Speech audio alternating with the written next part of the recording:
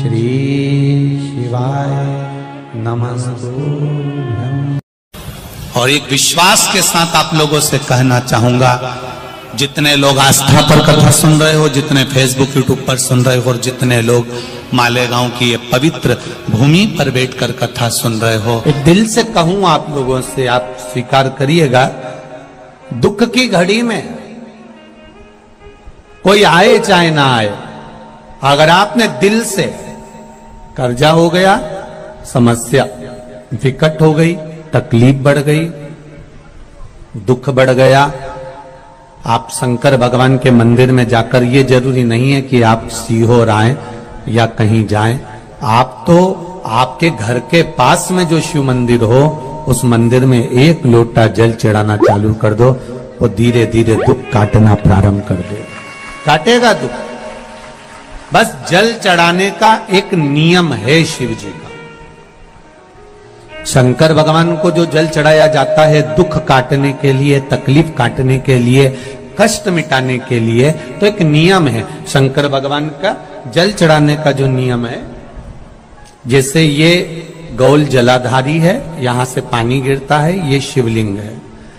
ये दो जो भगवान का पानी जहाँ बहकर जाता है, ये गोल में से तो यहाँ जो स्थान है, ये सीधे भाग पर गणेश जी विराजमान है, लेफ़्ट भाग में कार्तिकेय जी है। बीच में एक मोटी सी लाइन होती है जहाँ सुख सुंदरी है।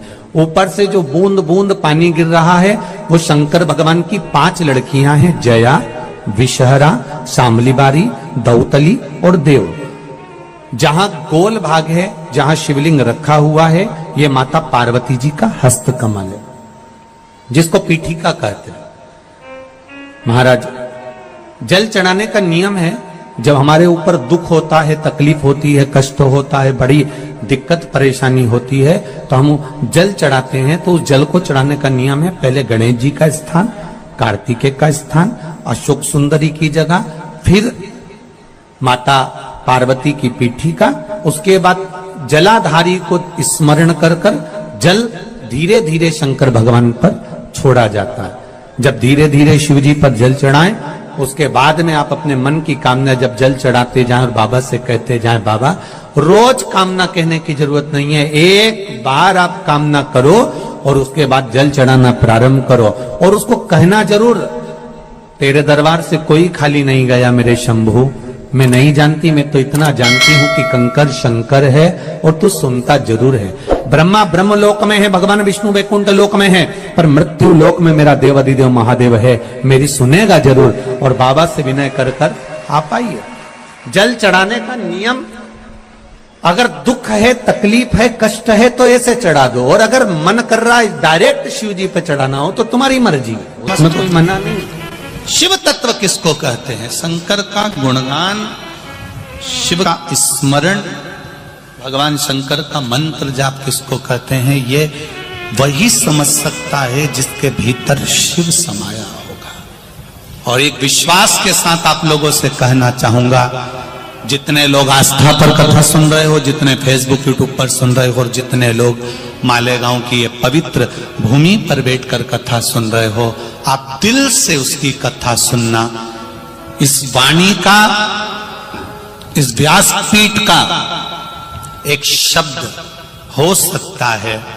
हॉस्पिटल में पड़ा हुआ कोई व्यक्ति, कर्जे में डूबा हुआ कोई व्यक्ति, गलत व्यसन में पड़ा हुआ कोई व्यक्ति को आपके द्वारा निकली हुई वाणी से भी बाहर निकाल सकता है। जैसे उस माँ को कहा किसी ने, सियोर वाला महाराज कहता है, एक बार चले तो जा शंकर जी के मंदिर में। उसने पत्र में लिखा। जब वो सियोर वाला महाराज कहता है, चिल्ला चिल्ला कर कहता है, एक लोटा जल, सारी समस्या का हल। तो जा। सात साल में उस बच्चे की वाणी वापिस आ सकती है जो वाणी नहीं थी। जब वो वाणी मेरा महादेव दे सकता है, वो देखो उस माँ के चेहरे की खुशी, उस माँ के चेहरे की रौनकता जिसका बेटा सात साल बाद बोला हो, उसका आनंद देखिए कि कितना होगा। कितना आनंद होगा।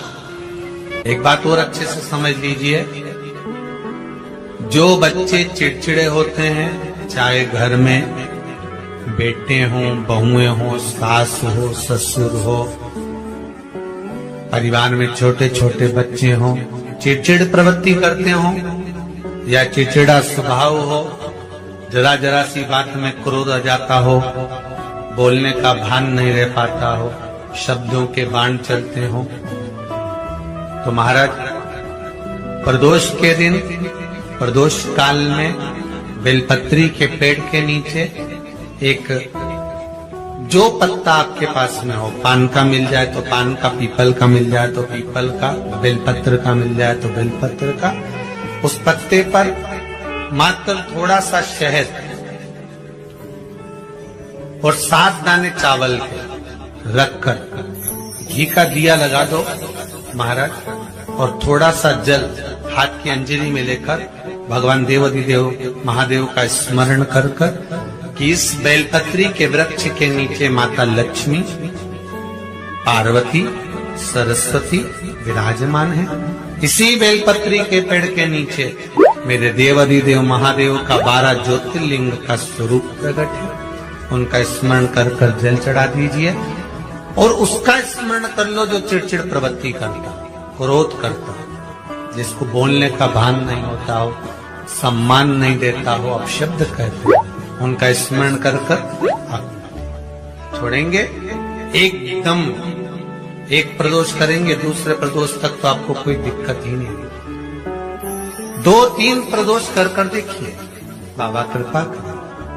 तीन जगह पर अगर कोई बीमारी ऐसी हो गई कि वो समाप्त नहीं हो रही, बड़ी बड़ी तकलीफ़ मतलब एक बार दवाई अगर चालू हो गई तो दवाई बंद ही नहीं हो रही है तो उसके लिए आपको तीन जगह पर जल चढ़ाना प्रारंभ कर दो। मात्र एक हफ़्ते एक हफ़्ते से ज़्यादा चढ़ाना भी नहीं पड़ेगा। जैसे एक हफ़्ते आप टेबलेट लेते हो, गोली लेते हो, एक हफ़्ते चढ़ाना प्रारंभ कर दो। सबसे पहले बेलपत्री के पेड़ के नीचे क्या करना है? जल का पात्र लेना है, उसमें दो दाने चावल के डालना। दो दाने अक्षत के डालिए। पहले बेलपत्री के पेड़ के नीचे जाओ, वहाँ जल चढ़ाओ। फिर जाइए पीपल के वृक्ष के नीचे, वहाँ जल चढ़ाइए। आखिरी में, या तो शमी के नीचे, या फिर आंवले के नीचे। इन दोनों में से कोई एक वृक्ष जिसके नीचे। पर एक हफ़्ते अगर आपने आंवले में चढ़ाया है तो आंवले में ही चढ़ाना। शमी में चढ़ाया है तो शमी में चढ़ाना है। ये बदल के मैं चढ़ाना कि आज मैं शमी में चढ़ा देती हूँ, कल आंवले में चढ़ा दूँगी। ऐसा नहीं। शंकर भगवान पे चढ़ा हुआ जल जो बहकर जाता है, उसको तीन जगह पर ज़रूर लगाना चाहिए। ध्यान से सुनिएगा। नव ग्रह जो शरीर पर राहु, केतु, मंगल, बुध, शनि परेशान करते हैं, उसकी समाप्ति के लिए। शिव पर चढ़ा हुआ जल नैनों पर, कंठ पर, मस्तिष्क पर, तीन जगह पर, जिसके प्रतिदिन शिव पर चढ़ा हुआ जल लगता है, उसको कभी नवग्रह परेशान नहीं कर सकते।